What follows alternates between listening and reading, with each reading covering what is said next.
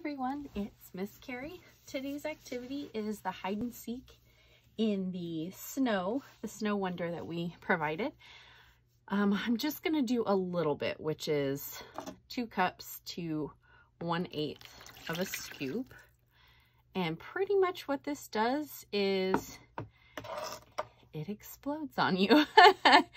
um, it creates something that is actually really uh, similar in texture to um, snow in the sense of uh, one of the things that's really great you can do with this is you can actually put it in the freezer for a little bit.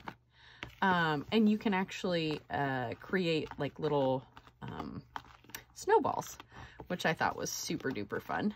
But this is just a really great thing to use for hide and seek uh, with toys if you want to put them in the sensory bin and you create this and you put little toys underneath so that they could go digging through and find things.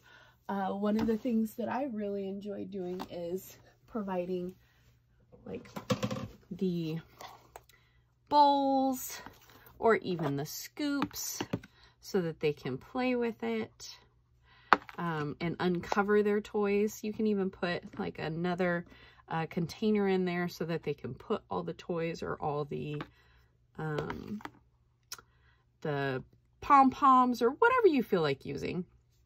But it's actually really, really fun stuff. It doesn't take a lot. Uh, the directions came for the mixing uh, in the green folder that had all the stuff in it so that it wouldn't bend. But I can go ahead and I can also email them to anybody who can't find them. But it's just really fun. Uh, you can do it outside. It doesn't last very long outside. It starts to get kind of mushy and, and gray.